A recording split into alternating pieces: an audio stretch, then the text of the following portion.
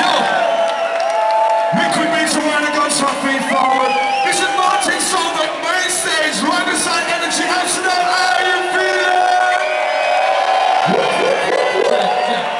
Okay, this one's not about Martin Solveig, it's about showing the world what's happening here in Amsterdam. The cameras are on you guys.